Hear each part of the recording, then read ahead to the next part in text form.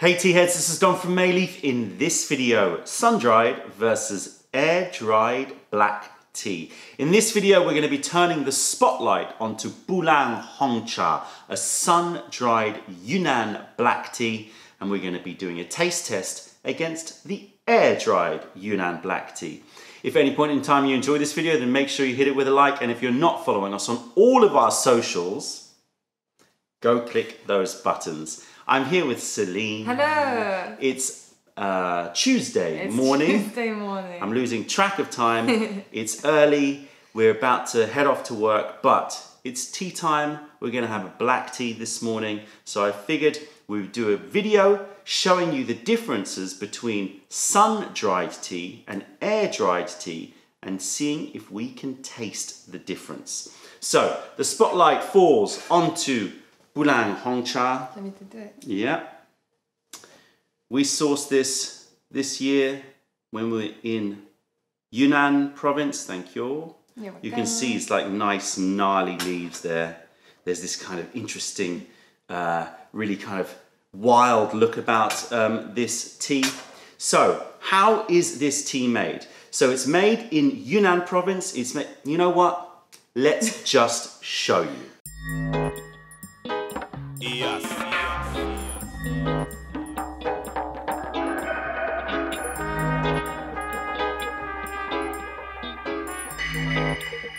Let's do a walkthrough on how to make Bulang black tea. Ready? We start with the fresh leaves.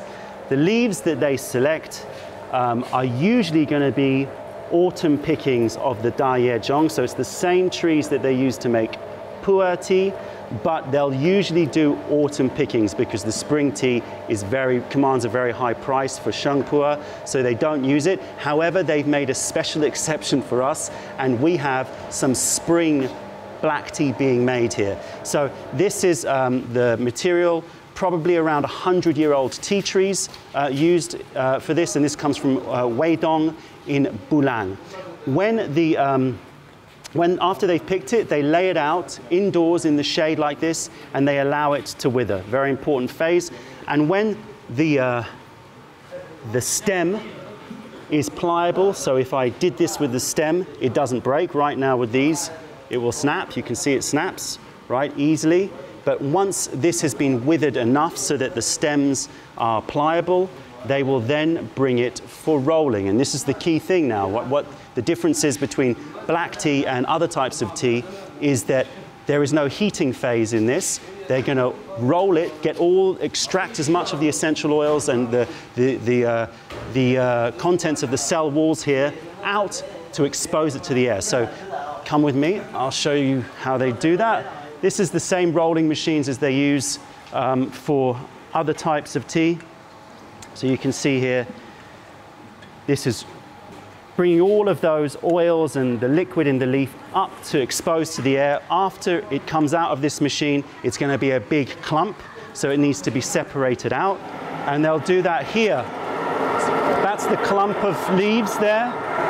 It goes in and then just gets sieved, separated out, so that each leaf basically is going to have even exposure to the air. Okay, after the leaves have been separated, we now have to oxidize. So this is the very crucial step, oxidizing the leaves. They'll lay the leaves out, so it's allowing air to circulate through, and they'll leave it to oxidize. Now this oxidation phase depends on the weather, but usually around five to six hours if it's good weather. This is the finished oxidized leaves. I'm really keen to sniff this. Beautiful material. Take a look at that. Full whole leaves, nothing broken. Gorgeous copper colors.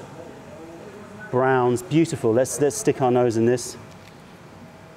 Oh, it's got a, Bulang uh, Hongcha has a, has a spicy note to it that you don't get with other uh, black teas, um, especially in China.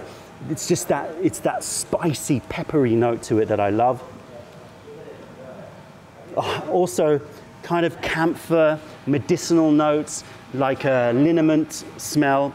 really, really interesting, spicy, um, herbal, very, very nice flavor, or very, very nice aroma, I should say. After that, they will then lay it out again, and importantly, they will sun dry the tea. They're not going to put this into an oven to uh, heat up um, and dry. They will sun dry this tea. That's a, one key difference here compared to uh, Yunnan Dianhong. Dianhong uh, tea, the, the golden bud tea, they'll usually use ovens to dry the tea, but for this tea, it's always sun dried. There you go. Now you know how to make Bulang black tea. And here is the finished result. This has been sun dried. You see if you can get in here, Celine. Again, what I love about the look of this tea is large leaves because it comes from the Daiyezhong variety, the big leaf variety. Really full leaves, beautiful colors. You've got, you've got beiges, you've got coppers, you've got blacks. Let's give it a smell. Obviously not as fragrant as the wet after oxidation leaves. It's been dried, but you can still pick up that peppery note. And I know that as soon as this hits hot water, it's gonna be incredible. So there you go, you've seen where it's made and how it's made. In front of us, we have three Yunnan black teas. Celine, why don't you go through them? Sure. Uh, you have Golden Bud here, uh, Yunnan Black, and oops, Bulang Black. Uh, they're all from Yunnan, but the differences is the processing and uh, the age of the tea trees and the way it's picked. Okay, so this is, um, they're all from Daiyezhong variety, so they're all from the same variety. This one, as we said in the video, is going to come from older tea trees, 100 to 150 years old compared to these ones, which are from younger tea trees. Um, so that's the first key difference. The second key difference is the picking. You can see this is all buds. This is buds and leaves, and this is a kind of uh, rough picking, very similar to a pu'er style picking, where they'll pick buds, but up to three to four leaves. So very different style picking. It's not the most attractive looking tea, especially when you compare it to, to this one here, this uh, golden bud, this imperial grade golden bud. But don't let uh, the looks fool you. So that's the, the second difference is the picking. But the third and fundamental difference is that this is sun-dried. So the Bulang Black is sun-dried, whereas these two are air-dried. What that means is that these have been put through a machine where it's like a conveyor belt that kind of snakes through hot air and that hot air blowing on the leaves dries the leaf, whereas this one here is sun-dried. What we're gonna do is we're gonna do a taste test between two. I don't think it's fair for us to include the imperial grade golden bud, purely because the picking is so different. At least with this one, the picking is a little bit more similar. So we're gonna put that one away. Um, you're gonna heat up the teaware Yep. for us. So you can see the difference in the picking here. But as I said, don't let that fool you. This may look like a gnarly kind of a bit rough picking, but that's the classic pu'er style picking. That's a bud and up to three to four leaves. So basically, this is kind of produced in Bulang by people who produce a lot of pu'er tea. Um, and so they're kind of using the same picking, they're using the same trees. As I said in the video, they tend to use the autumn pickings of the uh, trees uh, for the black tea because the pu'er tea commands a higher price. But they made an exception for us. So this is spring picking uh, tea. And um, so they will use the same tea trees and then produce it into black tea. A lot of pu'er producers are now switching and making some black tea, but obviously they're not very, uh, a lot of them are not particularly skilled at black tea production because of the fact that they are used to making pu'er tea. So there's a lot of sun-dried uh, black tea, Yunnan black tea out there. Hmm. Not all of it is great because of the fact that they're not really that skilled. So you want to try to find producers that have a lot of experience producing these types of sun-dried teas. Hmm. Okay. I agree with you actually. I have tried some of this type of tea from like tea trees. That it's not, it doesn't have the fruitier notes that this one has. So Yeah. Yeah, you Yeah. note you do notice when you have a, a pu'er tea producer that's not very experienced in making sun-dried black tea, and they'll make something decent because it's Yeah. it's kind of hard to screw up black tea because it is a fully fermented, fully oxidized product. Mm. So, but you know, the length of time of oxidation, the temperature during oxidation, you know, um, the uh, way that you pile the leaves during oxidation, all of those factors make a big difference in the quality of the tea. So let's quickly scope this tea just for clarity. Season, this is April 2018. Uh, the uh, cultivar is the Daiyezhong cultivar or uh, variety. The origin is Weidong in Bulang Mountains in Yunnan province in China. The picking and processing you've seen, so I don't need to describe that to you. And the elevation is around 1,700 meters. So high altitude black tea. Okay, stick your nose in there, Yes. And I will stick my nose into the Yunnan black. Oh, Yeah, it's just not. It's like not as malty as Yunnan Black. Like I, I I've tried Yunnan Black quite Swap. quite a lot. this one's got more of the cherry, like Huge a cherry difference. notes. You know, massive difference. If you ever, if you want to try this, pick up both. It's massive difference. huge difference. So what would you say is that one? This is much more caramelly, fudgy. And nutty. I get And nut- nutty. hazelnuts, Hazelnuts. hazelnuts, and Yeah. and caramel and malt.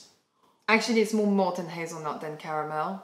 Yeah, I agree. Yeah. And this one here, what do you get? Yeah, it's more like cooked cherries or something yeah, like that. got it's got a lot more fruit, doesn't it? Yeah, it's still got a little bit of that earthy note that you sometimes get from well, that you get a little bit from a. I don't want to say a shu pu'er because it's so strong, but it's a slight earthiness. Yeah, not yeah. It's not as overpowering as the cherry note. you It's know. very much for me. It's got those sour fruit notes Yes. to it, black currants, some gooseberries. Sour fruit notes. That's really good. It's, it's got that. It's got that slightly fermented. Uh, we've said it before, but a, a bit of kombucha, Kombucha. sourness in there. So what you're noticing immediately on the dry leaf is that there's a definite effect that the sun makes. Now, as I said, just to be very clear, I'm not going to repeat it. They're, they're different in terms of their picking as well, and they're from different areas. So there's other factors that are affecting it. I'm not saying this is only about the sun. However, from my experience, when you have sun-dried teas, you can uh, wash them. When you have sun-dried teas, you're pulling out a little bit more of a wild, a little bit more of a, uh, an, a fruitier taste come through, a little bit more spiky, complex notes come through, compared to the much more pure, much more warming, much more comforting notes of an air-dried tea. When you air dry it, there's something that's um, Very cozy. very cozy, yeah, and unadulterated in the sense that it's just a very pure taste of the tea with those little bit of a hint of a slight toastiness that comes from that air drying. But when you have sun dried, it's just a bit wilder and a little bit more complicated. And that's why you can get really good and you can get really bad. There's a certain standardization that comes from uh, air drying, of course. Like Yunnan Black smells amazing. Wow. It's just so different. That's totally, totally. It's like totally, absolutely different teas. This one is all about those roasted nuts, caramel, bit of hay. Um, there is a slight pepperiness to this. uh, uh, I get a little uh, spice on my nose in it as well. I was gonna say that this one, I was trying to think of tasting notes whilst we were saying that, but apricot and like there is a sour fruit, but is it sour cherries or, or gooseberry? Maybe it's the gooseberries It's that you were saying. gooseberries. It's gooseberries and, but it, it almost smells like a pu'er. Yeah. doesn't it? It smells like it really does smell Oh God, almost yeah. like uh, Like a a- pu'er tea. Like an aged, like an aged pu'er, like a naturally aged pu'er. yeah, like a na- yeah, exactly. It smells like an. Uh, it's got that aged pu'er smell, but I'm getting pu'er notes like gooseberries. Yeah. I'm getting poor notes like um, Sorry, it smells so good. honey notes. I'm getting herbal notes and honeyed notes to it. The, definitely, I'm getting some some of those sour fruits, cherries, gooseberries, things like that. And this one here is So cozy. cozy carob Carob. chocolate, hazelnuts. Like milk chocolate. Yeah. You know, okay, cozies. let's brew them up. We're brewing at 90 degrees. Yeah. That's 195 Fahrenheit. I'm more and more with these black teas, I'm looking at slightly cooler temperatures to try to bring out the top notes of those teas a little bit more. Um, and we're brewing for 20 seconds. So let it sit because it's a slightly cooler brew. Right. Cool. Pour it off. Let's see if there's a difference in the color.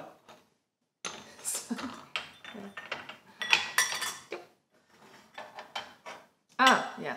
Good idea. Let's get that camera to see. so a noticeable difference in color, So different. darker. This is so much more red hue. Yeah, there's a lot more red in here. So this is a, a, a deep auburn color, isn't it? Yeah. That deep auburn color. Whereas this is more like a honeyed brown color, a, a lighter gold, more golden color. Yeah, you can Yeah. show it to the camera. Try and do it so you, uh, Is that right? Can you Yeah. See it? Yeah. Come closer. Okay. Cool. Let's give it a taste. So this is Yunnan Black. This is Bulang So Black. Yunnan black, Bulang black, Yeah. air dried, sun dried. Yeah. Should I uh, serve you Yunnan Black first? Yep, sure. Doo-doo. Here we go. Cheers, guys. Cheers, everybody. Our morning tea, first tea of the day. Going for a black tea, so English Mm. Yeah, I know. We're really going traditional here. Right, just- so Cozy, very um, kind of. It has a sweet, yeah, caramel, and then there's a little little menthol note, like a little Yeah. fresh note Yeah. to it. so you're getting a very classic Dianhong taste. Mm. We're getting malt. We're getting because it's got some of those leaves in, not just buds. We're getting a little bit more strength. Mm-hmm. That means you're getting some dark chocolate notes coming through. And a little bit of fruits as well. Yeah, the fruits are there. What fruits would you say they are? I want to say like raisins and Yeah, dried raisins. dried raisins. but but light. It's it's a light a light fruitiness. yeah, it's a light fruitiness, almost like a prune, prune kind of aftertaste to it. hmm So we're getting caramels, uh, um, nuts, a little bit of chocolate, Yes. um, a little bit of um, that chocolate, dark chocolate bitterness to it, and a little bit of fruit persisting on the finish. Yeah. But the finish is relatively clean. A little bit of vanilla and Yeah. the uh, the aftertaste. Yeah. Very clean. But I mean, and it's not still too drying either. No, not drying, but that's Yeah. also to do with the fact that 90 degrees. That's what I'm saying. Keep the temperature down on it, and you're going to re- reduce the astringency. Nice. Um, I mean, it persists. I'm still getting flavour Yeah. in my mouth. A nice, warming, fudgy, yeah, fudgy. vanilla-y, fudgy flavour. Mm. Beautiful tea. Okay, let's try the Bulang Black. So now we're moving to the sun-dried. Put your cup there. yes. It sorry definitely looks more dark and auburn and a little bit more red colour. Yeah. All right, so sun-dried tea. Cheers, everybody. Totally and utterly different. Like I'm getting this tea. instant fruity Yeah. kick on the sides of my tongue. Yeah. But it's like you're drinking um, syrup. It just has like a, as it enters your mouth, the, the texture is quite thick compared to the Yunnan Black. Yeah, I would agree. Slightly thicker. Yeah. And, and there's like a, a honey note Yeah. that hits your tongue. Yeah. Maybe it's a, it's a herbal honey. Yeah, you yeah, yeah, yeah, exactly. It's got more of those complicated notes to it. It's got more, Wow. it's definitely got more of those puer style notes. You're getting definitely a herbal honey. I like that because it's slightly bitter, but then sweet, like um, like a honey. Like uh, if you've taken honey and you've you've uh, soaked some Chinese herbs in there. Yeah, So yeah. it's got a slightly herbal honeyed taste. Maybe, some dates in there. Jujube, definitely. yeah. I'm getting a lot What of red dates, a lot of red dates. Again, classic pu'er profile taste. Um, a lot Yeah. of red dates. I'm getting um, some hay. I'm getting uh, more minerality, definitely. Yeah, I was just gonna say there's like a um, a savory, not a savory note, but like a saltiness, which is actually that minerality. Yeah. that you get with pu'er. which There's a saltiness. It Yeah. definitely persists on the tongue as well for longer in terms of a, a, a mineral uh, finish. yeah. And I'm getting just more fruits, just a lot more fruits. Go for it. Forgot which is the Yunnan black and the Bulang black. now. We'll definitely taste it. Okay. Um, so the question is, what is happening here? Of course, as I said, the trees, the picking, etc.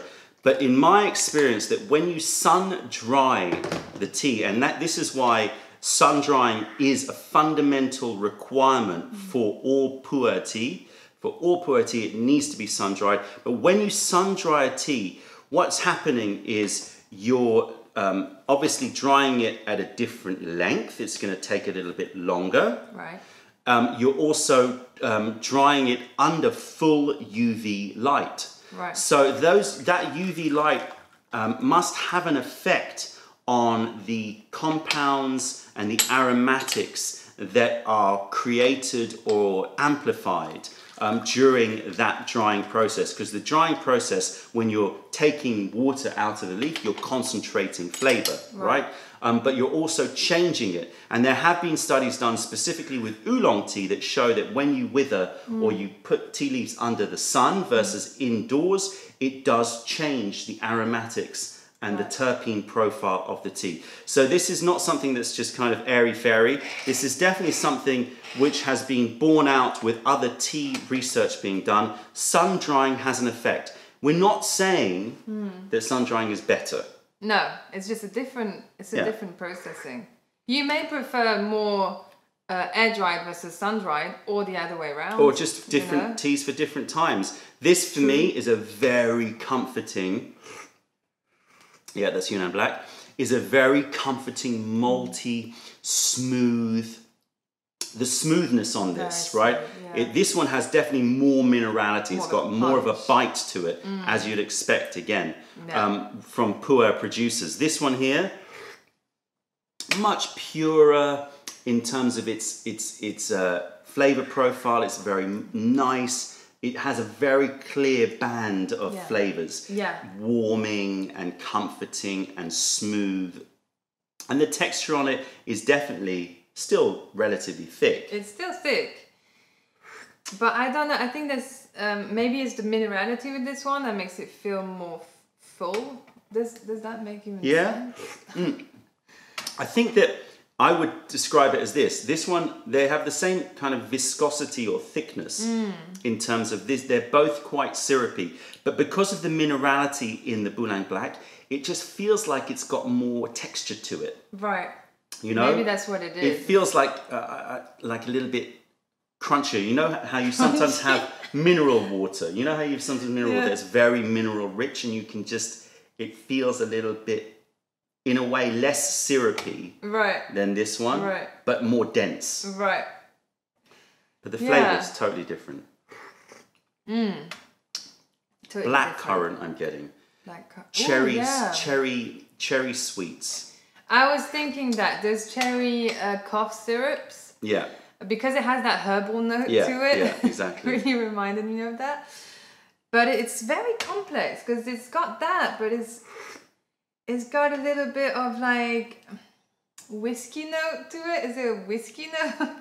maybe like you're talking about the cask. the cask, yeah. I Yeah. think it's like maybe smelling a cask, like the Yeah, it does have a little bit more of, of that. It just has, um, I would say, a more varied flavor Mm. profile. You're getting woods, you're getting fruits, you're getting a little bit of cream, you're getting a lot of uh, rocks and, and wet rocks, you're Yeah. getting some hay. Yeah. Whereas this one here is nuts, fudge, malt, dried grass. It's a little bit more kind of um, fitting within a certain bandwidth of Yeah. flavors. This one here, and that's the for me is is probably a lot to do with the sun drying process. If you had to describe it as a person, these two teas, would you? What would you say? As a person, Yeah.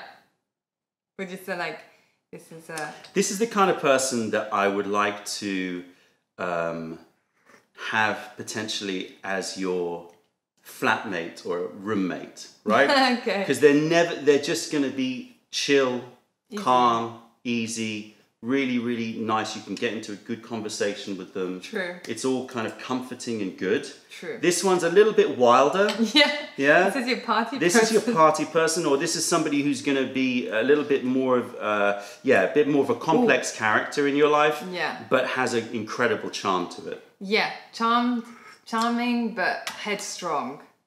Yeah, it's definitely potent. It's definitely got that little bit more spikiness and character Mm. um, that comes from those uh, pu'er producers and the way that they produce. I mean, in terms of sun drying versus air drying, I guess there would be a difference if you say sun dried a tomato versus Right. oven baked a tomato.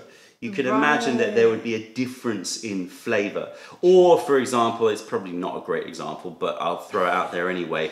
You know, if you dry clothes outside Oh. versus drying clothes in a dryer, right? Big difference. It's going to have that different Yeah. smell to it, different uh, aroma profiles. Obviously, the clothes aren't reacting to the air and creating new terpenes. But just as a kind of metaphor, there's smell. something about drying it out in the sunshine Mm. which changes the complexity of the tea. Let's show the, the wet leaves Sure. to everybody out there. Ta-da! They look relatively similar now. They do.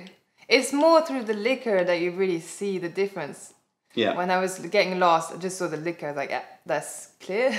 Okay, so let's do one last infusion. yes.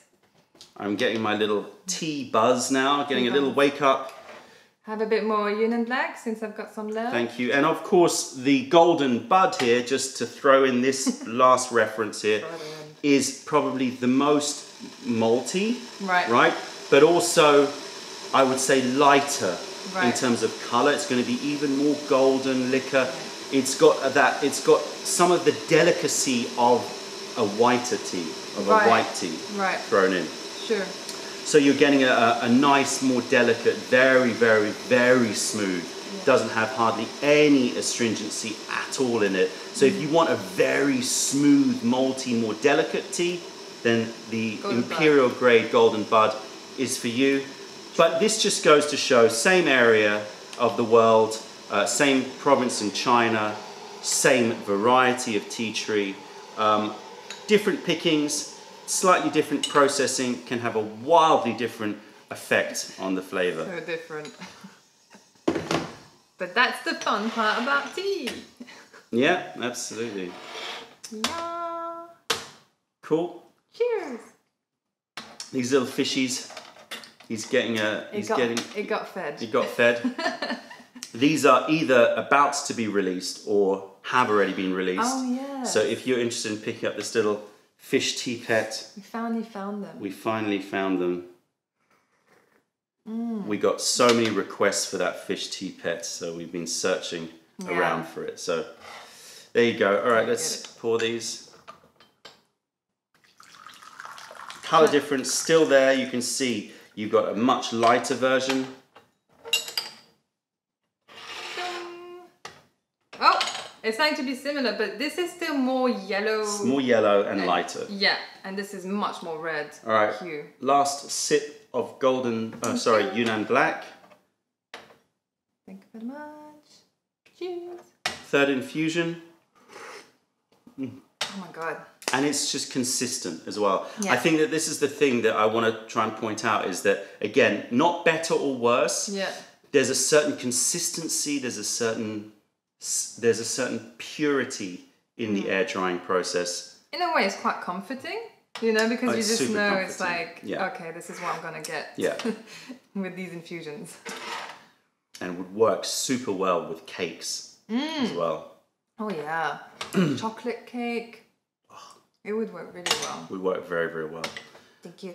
Whereas you got the dark brooding, That is so dark. more complicated, more spiky. Almost looks like in the cup it looks dark, as dark as a shu pu'er, but obviously Yeah. through there it's got more of that black tea hue.